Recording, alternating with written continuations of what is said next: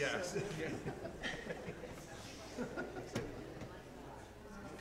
I think it's, it has to be sudden old man death. So Whatever.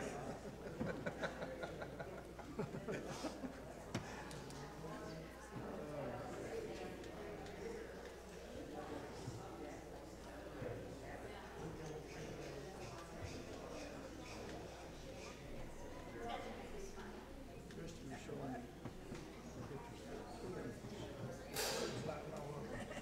Birds? birds. We got- I didn't even freak out, you know, most kids would freak out when birds started right there.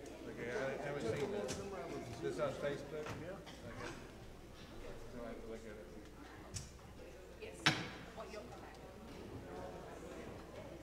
Is this on Jen's page? I don't know. Christie just handed it to me and showed me that. I don't know who's with that. Probably. Well, she got some pictures of Ian the other day, day before yesterday, but they didn't have birds. No, he he hadn't seen the bird. No. The bird house. We need one.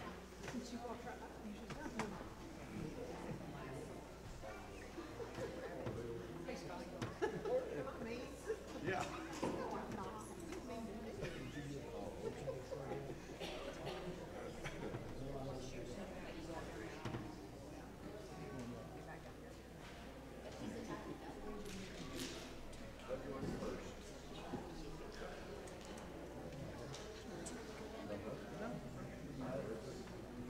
Hi, Tom.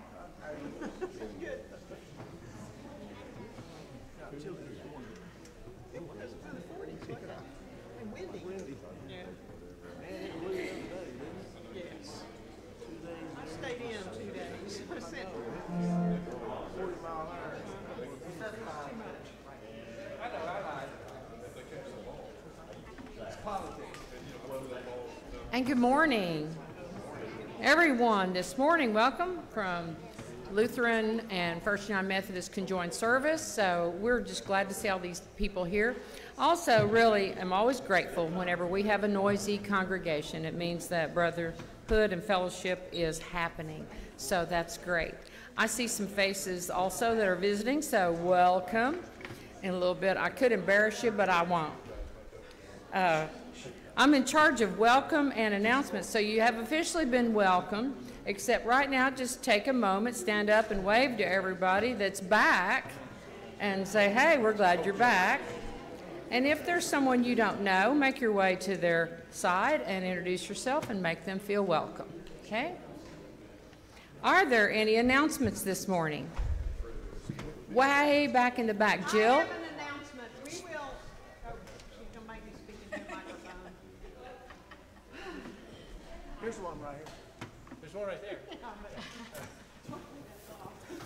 Good morning. No, it's not. We will resume, we will resume three octave choir practice this Wednesday. The, a subgroup has been working without me when Pat and I have been gone on these nomad trips, but we're gonna get the full choir back together. I've talked to several of you and who are interested, and if you've already spoken with me, just please come at five-thirty. If anyone else is interested in ringing with us, please let me know. But we will, we're going to concentrate on the Christmas season with rehearsals Wednesday nights at 5:30. Thank you. Are there any, uh, did y'all all hear that? Uh, so bells will resume their three octave practice this Wednesday at 5:30. And she appreciates all of those who have been doing the subgroup belling. Also. Yeah, we, well, and our bells performed at the uh, Hometown Harvest. That was good to see. We had some singers from the choir. We, it was just a really, really, really great day. And the fact that it kind of happened on my birthday weekend made me think it was all for me. Yeah, I had a birthday that lasted like five days, and that was really cool. Uh, I have an apology to make to our Facebook audience. Uh, we hope that you are tuning in and listening. I made a post this morning about trunk or treat, and it was wrong.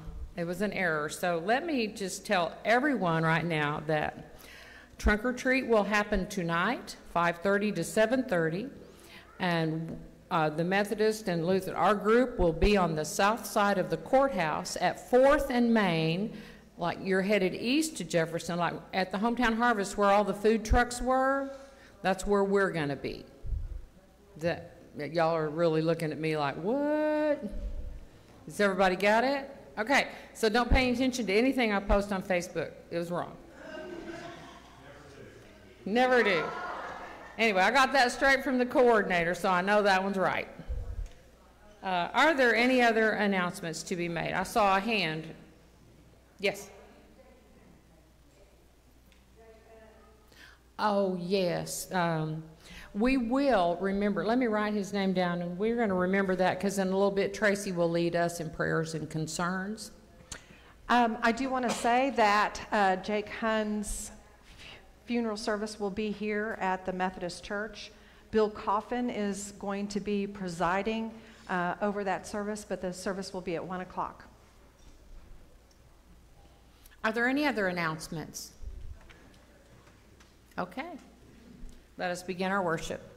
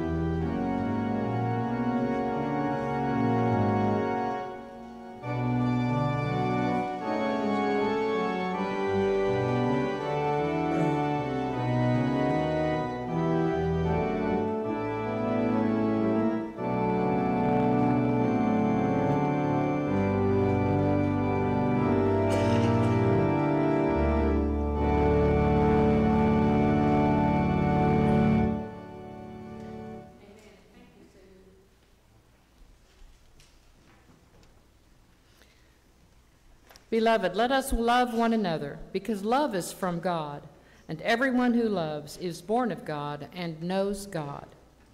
God's love was revealed among us in this way God sent his only Son into the world so that we might live through him.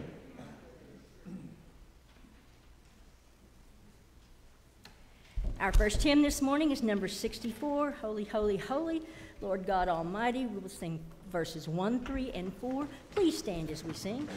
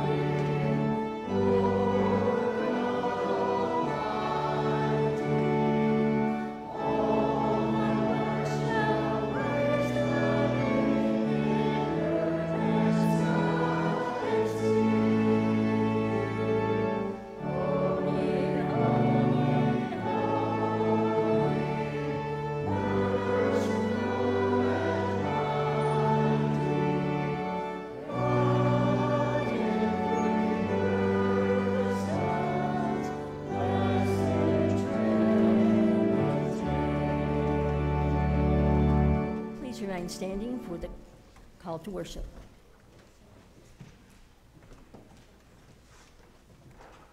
Praise the Lord. Praise the Lord, O my soul. I will praise the Lord as long as I live. I will sing praises to my God all my life long. And the Lord will reign forever, your God, O Zion, for generations. Praise, the Lord. O Lord, you are our God, and by the power of your Holy Spirit, teach us through your word to follow after you. In Jesus' name we pray. Amen. You may be seated.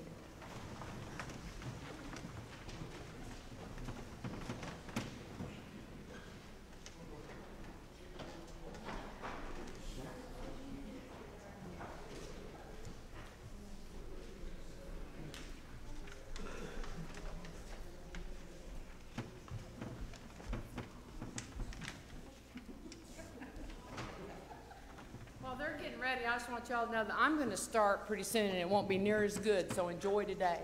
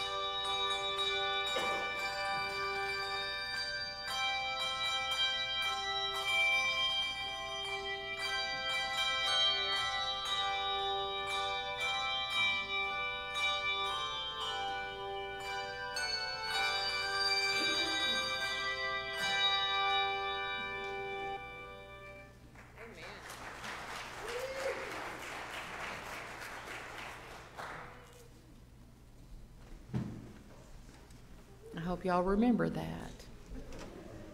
Okay.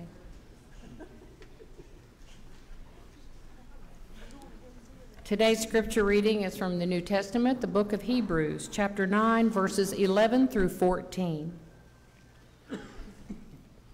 But when Christ appeared as a high priest of the good things to come, he entered through the greater and more perfect tabernacle, not made with hands, but that is to say, not of this creation. And not through the blood of goats and calves, but through his own blood.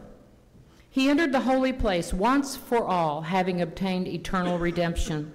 For if the blood of goats and bulls and the ashes of a heifer, sprinkling those who have been defiled, sanctify for the cleansing of flesh, how much more will the blood of Christ, who through the eternal Spirit offered himself without blemish to God, to cleanse your conscience from dead works, to serve again the living God?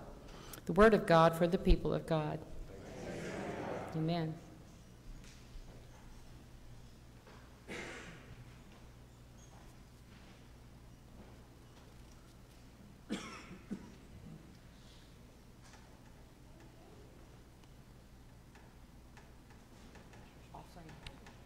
Well, it is wonderful to see everyone here this morning. I was so excited when I saw some faces that I haven't seen for a while, but I am always happy to see everyone. Sunday is my favorite time because I, I love to come into worship. I do. I love to worship, and I love uh, being here this morning. And I have no idea where I am.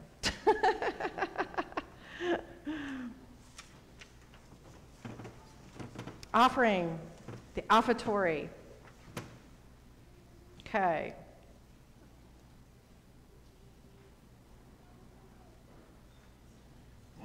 All right, we're here. Yes, as Christ has given himself for us, let us in turn give of ourselves for the sake of others.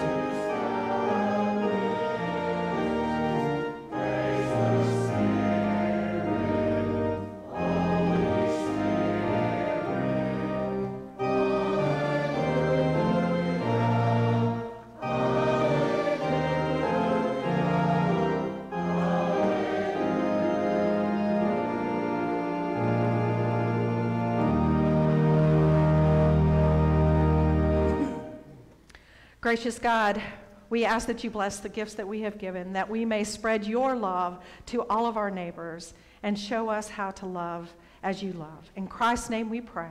Amen.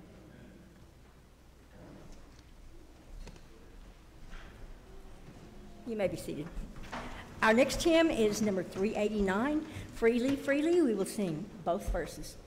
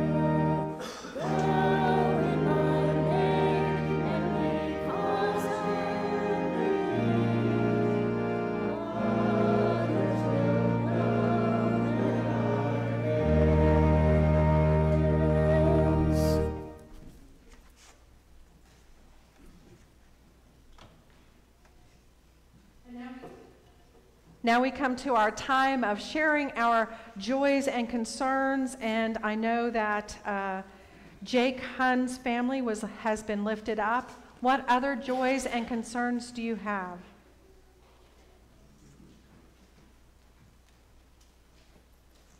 Yes, Noah.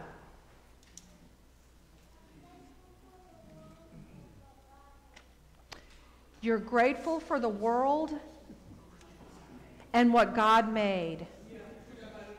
Yes, you know what? I am too. What about all of you? Are we all grateful for God and the world and what He has made? Amen. Amen. Yes, Jack. You have some money? Oh, good, good. We are grateful for money too.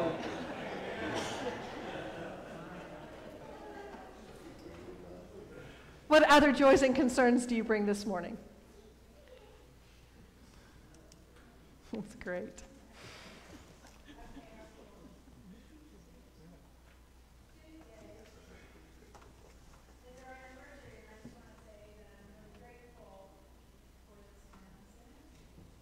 Oh, so Bill and Lori are celebrating their anniversary on Tuesday. How many years? Eight years. Congratulations.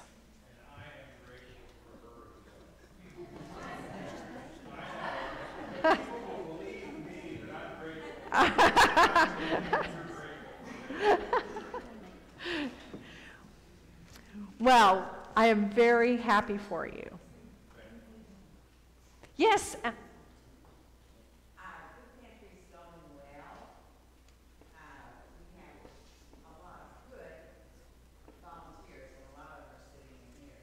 And we appreciate it. Every person that comes to help means the rest of the people don't have to do as much. Right?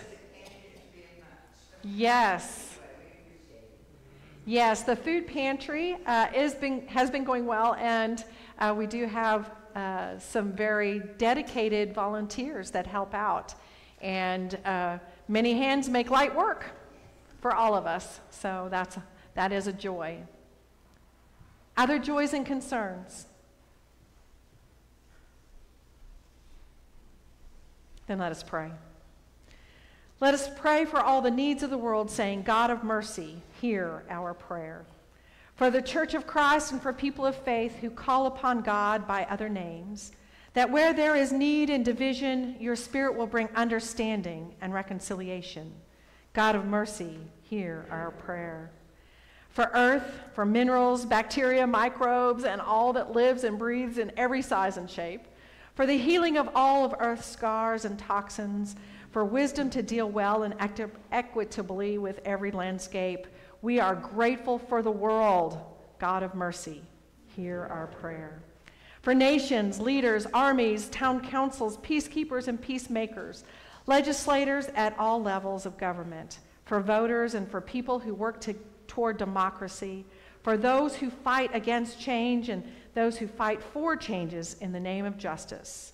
God of mercy, hear our prayer for children and for those who are raising up children in this complicated world, that in the midst of their common struggles there will be times of great joy and happiness. God of mercy, hear our prayer. For all who daily show us how to live well and in accord with your commands, God of mercy, hear our prayer. For all who suffer in our land from hunger, homelessness, poverty, and illness, especially, those that we name before you.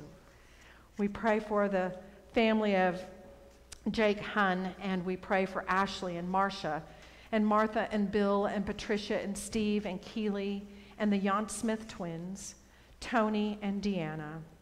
God and of your God of mercy.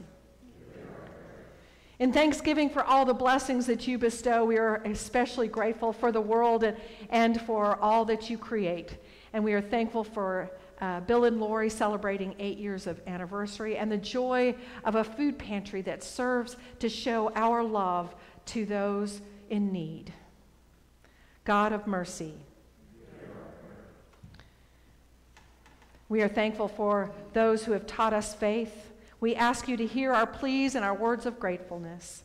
Keep us in your care and bring us to the feast that has no end through Jesus Christ, who lives and reigns with you and the Holy Spirit, now and forever. Amen.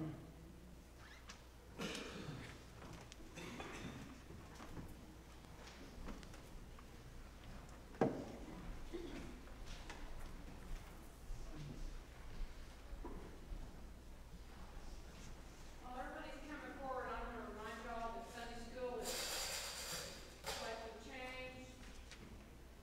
Christy's on the line. Sunday school is collecting change to buy donuts to pay it forward.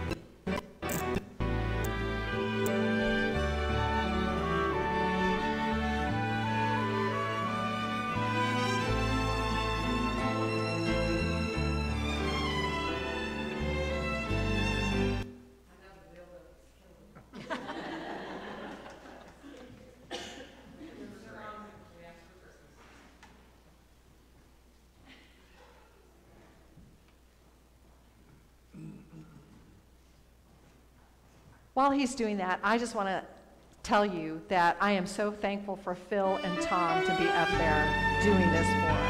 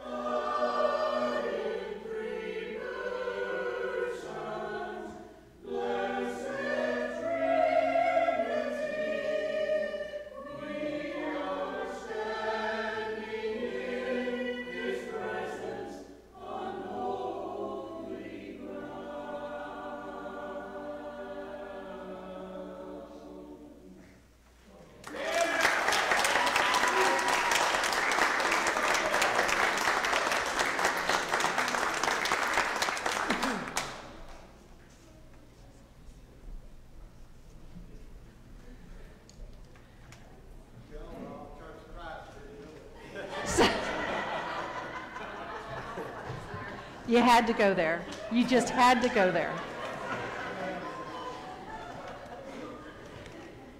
We are all in the family of God. So, our gospel reading this morning comes to us from Mark 12, 28 to 34. One of the teachers of the law came and heard them debating, noticing that Jesus had given them a good answer. And he asked him, Of all the commandments, which is the most important? The most important one, answered Jesus, is this Hear, O Israel, the Lord our God, the Lord is one. Love the Lord your God with all your heart, and with all your soul, and with all your mind, and with all your strength. The second is this love your neighbor as yourself. There is no commandment greater than these. Well said, teacher, the man replied. You are right in saying that God is one and there is no other but him. To love him with all your heart and with all your understanding and with all your strength, and to love your neighbor as yourself is more important than all burnt offerings and sacrifices. When Jesus saw that he had answered wisely, he said to him, You are not far from the kingdom of God. And from then on, no one dared ask him any more questions. The word of God for the people of God. All right, kids. Oh, there it is. I was like, Where's my stool? Have to have my stool.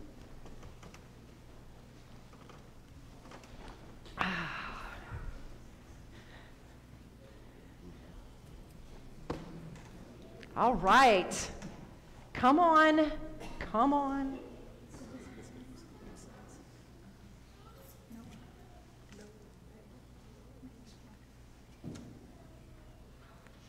Good job, Lane.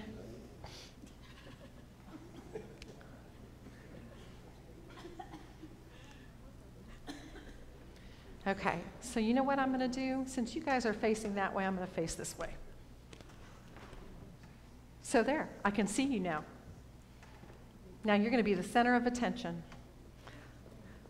So, have you guys ever played games, of board games like this? Yeah, this one's called Scattergories Junior. Have you guys ever played this game? No? You know what? I haven't either. So, in order to play a game like this, we have to know, because there's lots of stuff in here. I, I, what are you supposed to do with this? Oh, and, the, okay, and, oh, there's more of these. And, oh no, there's something very important missing from this. What do you suppose it is? No, um, I think that these are considered the board, I, I guess. A what? Uh, no, there's pencils in here. Um, oh, oh, it's the instructions, the rules. How are we going to play the game if we don't have the rules to teach us how to play, right? That's what games have. Games have all of this stuff in them, but they also have rules that help us learn how to play these games. And you know, we have rules for life. And you know where we can find those rules for life? Yes, Jack, tell me.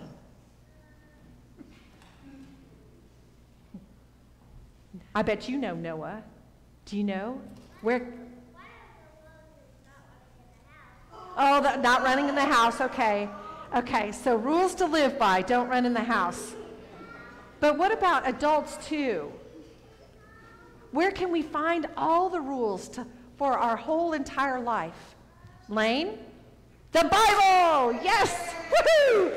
Yes, the Bible has all the rules for us to live by so that we can live the best life possible. And you know what? The Bible has two commandments. And Jesus was telling them, the people today in the story, what those two greatest rules are love God with everything that you are, and love your neighbor as yourself. Those are the two greatest commandments. And if we live with love in our hearts for God and for other people, then we, everything else will fall into place. And so we want to make sure that we are always filled with love love of God and love of neighbor. And we do that by coming to church and worshiping God. That's. Oh, you have a question? Okay.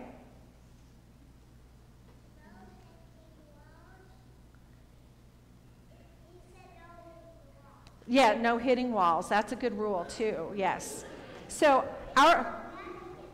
There's no yelling in the house, yes. Well, let's get back to God's rules. God's rule is to love God and to love our neighbors and obey God. Well, you know, when we come to church and we sing songs, those songs are singing to God, showing Him how much we love Him. And when we love our neighbor, we do nice things for them. So we do nice things even if they're not very nice to us. That can be hard sometimes.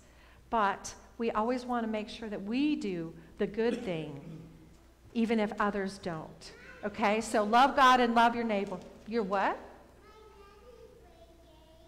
Your daddy plays games? Yeah, I bet. Okay. All right, let's pray. Holy God, thank you for giving us your son, Jesus Christ.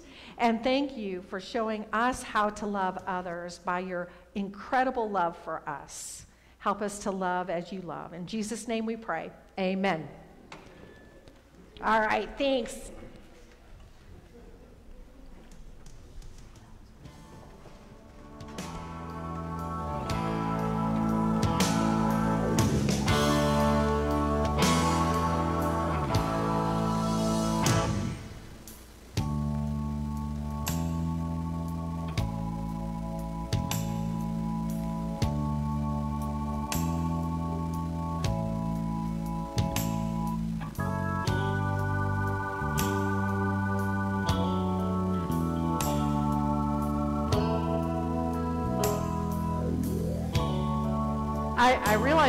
Karaoke, but you don't expect me to sing it.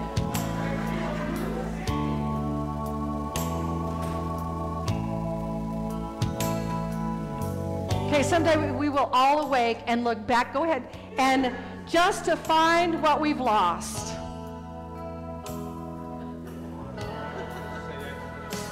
We need to get back to the basics of life a heart that is pure and a love that is blind. Faith that is fervently grounded in Christ. The hope that endures for all time. These are the basics.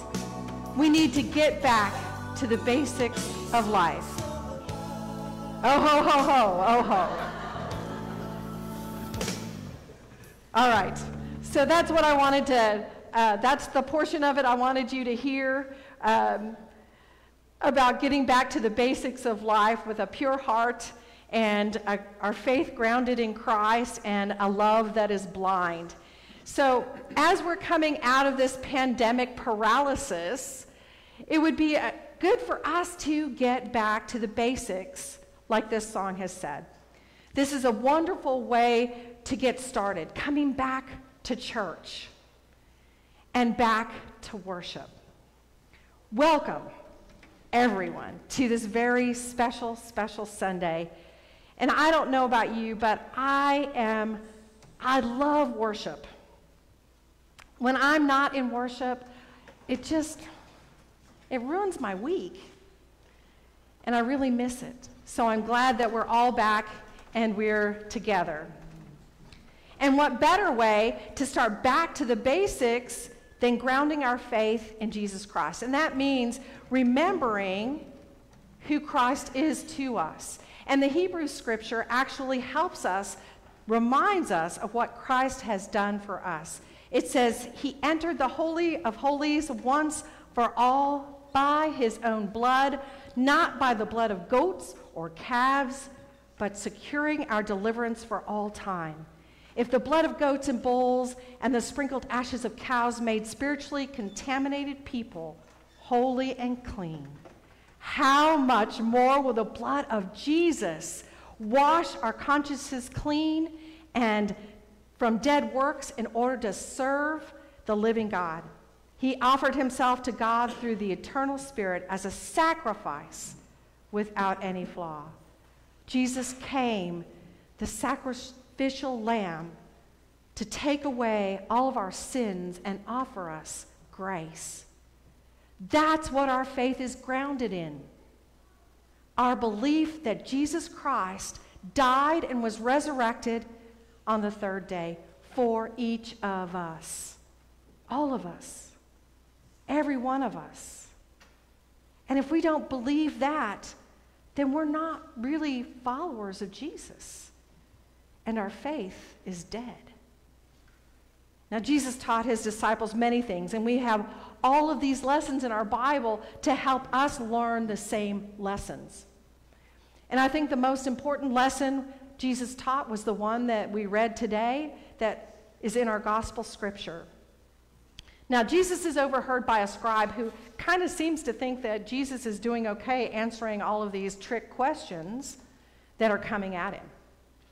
So he decides that I think he just wants to have a conversation with Jesus. So to do that, he decides to ask Jesus a question. He wants to see where Jesus is on the theological scale. So this scribe is actually a theologian. A theologian is someone who studies the nature of God.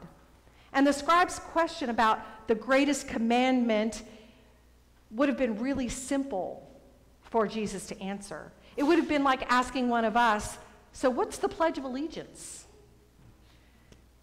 So, it really wasn't a question that the scribe was trying to use to trick Jesus like so many of the other leaders of Jesus' time. This question would have been easily known by faithful Jews. And so it wasn't a test. The scribe just wanted to have a conversation with Jesus.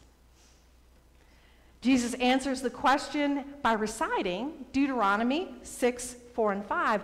Only Jesus adds to the commandment.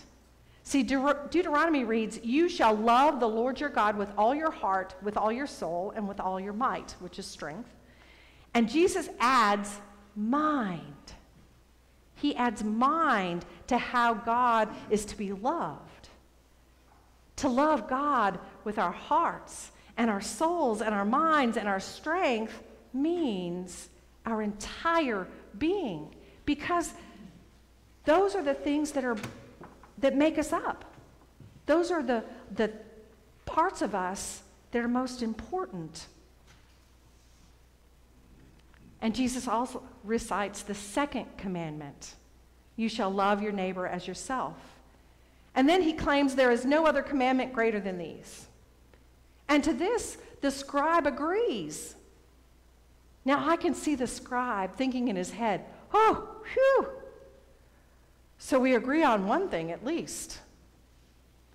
Jesus' answer that the scribe is, agrees with tells us that the basic commandment of God is to love God with everything that we are and to love our neighbors as ourselves. And Jesus reinforces that by saying, There is no other commandment greater than these. And the scribe agrees by saying, this is much more important than all the whole burnt offerings and sacrifices. That's a big deal.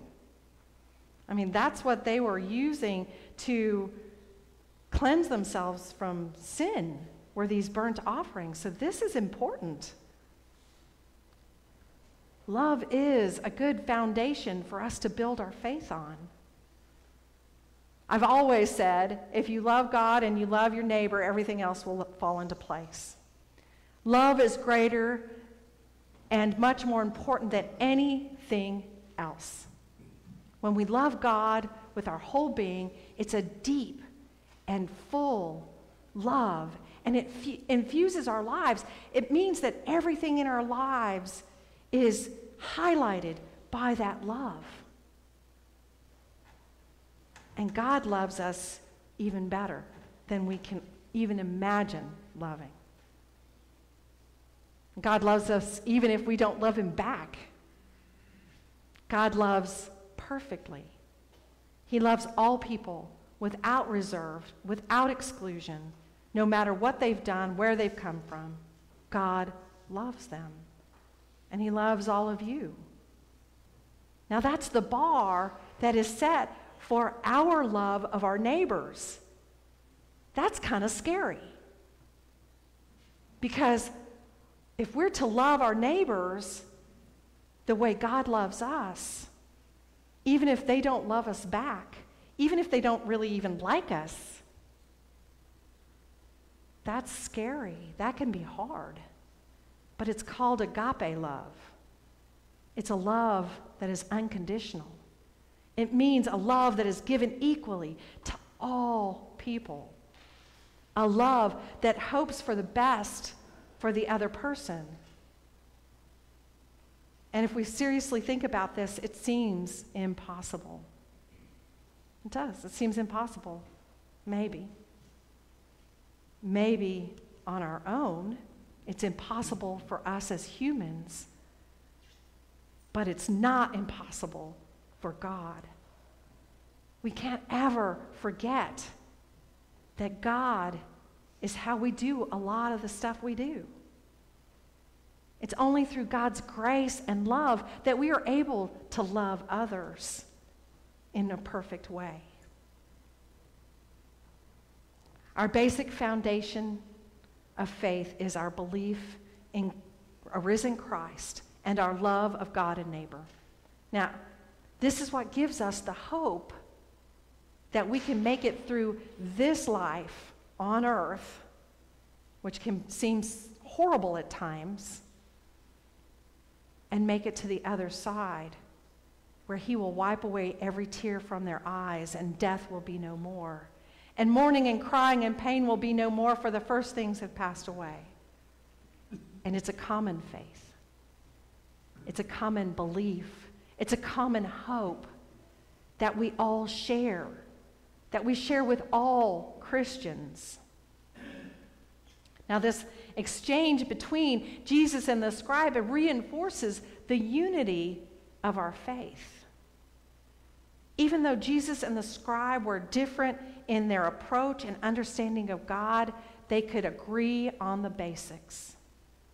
Their exchange shows a unity of understanding that we don't often see with Jesus and the other leaders. I mean, you think about it.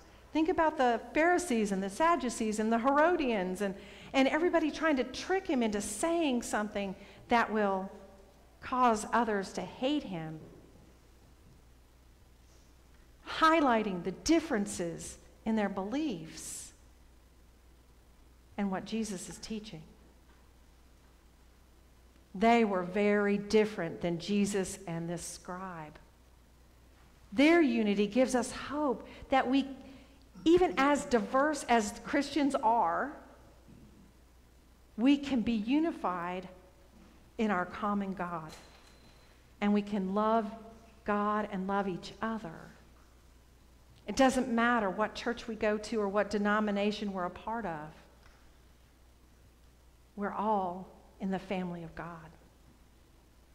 And God loves us equally.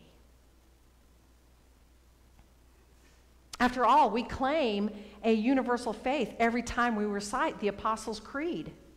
So I'd like to ask you to join with me in reciting the Apostles' Creed, if you could just stand and turn in your hymnals to 882.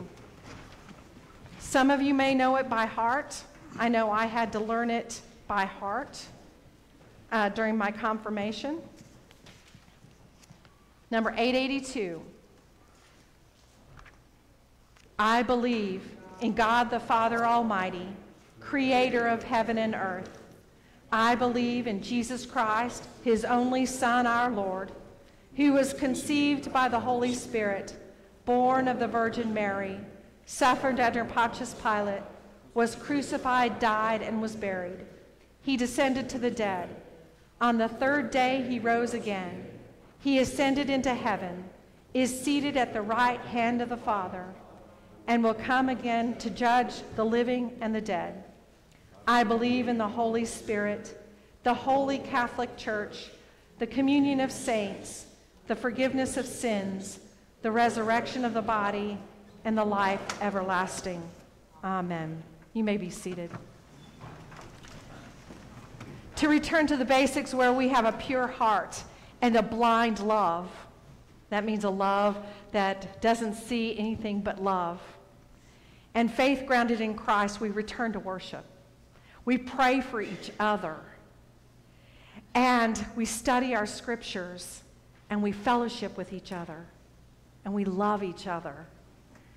After this worship service, we have a fellowship dinner where we can all get together and we can and swap stories and, and just have a great time talking and getting to know each other a little bit better. I know you all know each other probably better than I know any of you, but that's okay. I'm learning. So, the most important thing to God is our love of God and love of neighbor. And God's love is also demonstrated in his giving of his Son, Jesus Christ, for our sake. Jesus gave his life for ours so that we have the hope of salvation. He also gave us a new covenant. And that we celebrate that during Holy Communion, where we remember Jesus' last meal with his disciples and Jesus' sacrifice.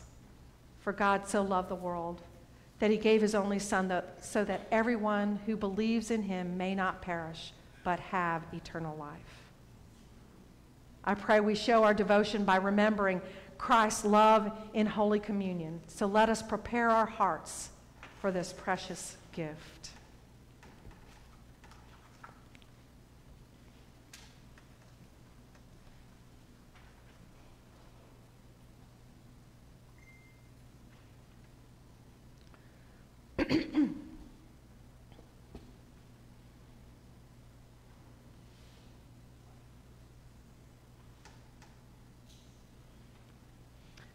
Christ our Lord invites to his table all who love him, who earnestly repent of their sin and seek to live in peace with one another.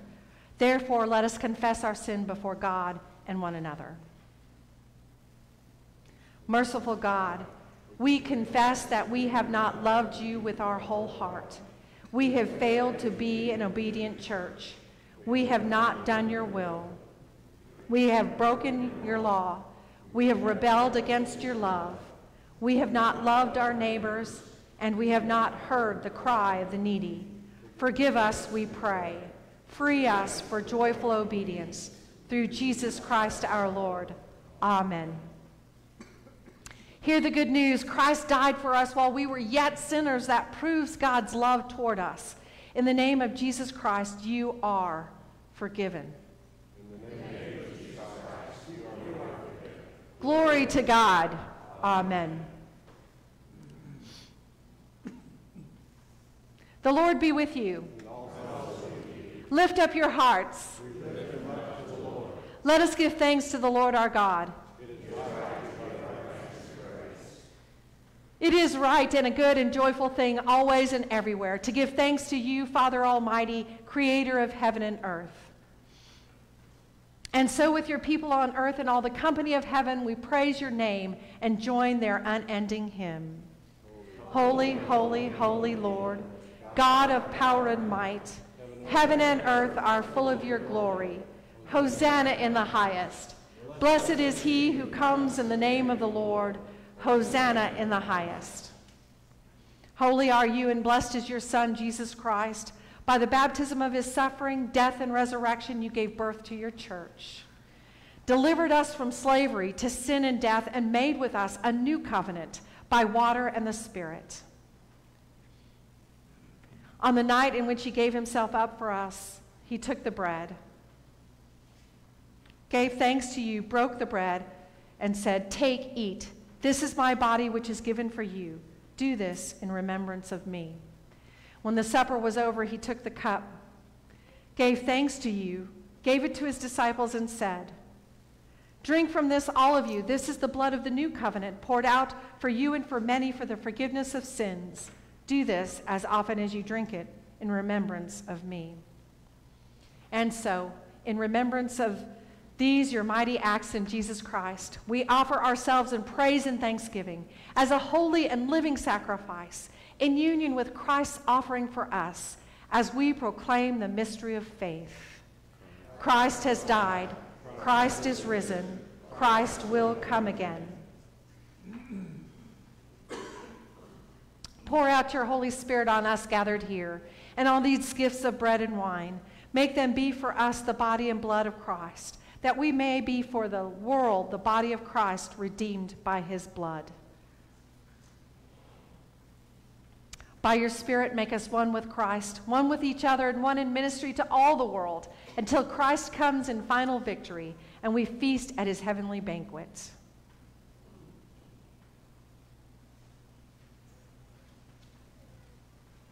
Through your Son, Jesus Christ, with the Holy Spirit, your holy church, all honor and glory is yours, Almighty Father, now and forever. Amen. And now, with the confidence of children of God, let us pray. Our Father, who art in heaven, hallowed be thy name. Thy kingdom come, thy will be done, on earth as it is in heaven. Give us this day our daily bread, and forgive us our trespasses, as we forgive those who trespass against us. And lead us not into temptation, but deliver us from evil. For thine is the kingdom, and the power, and the glory forever. Amen.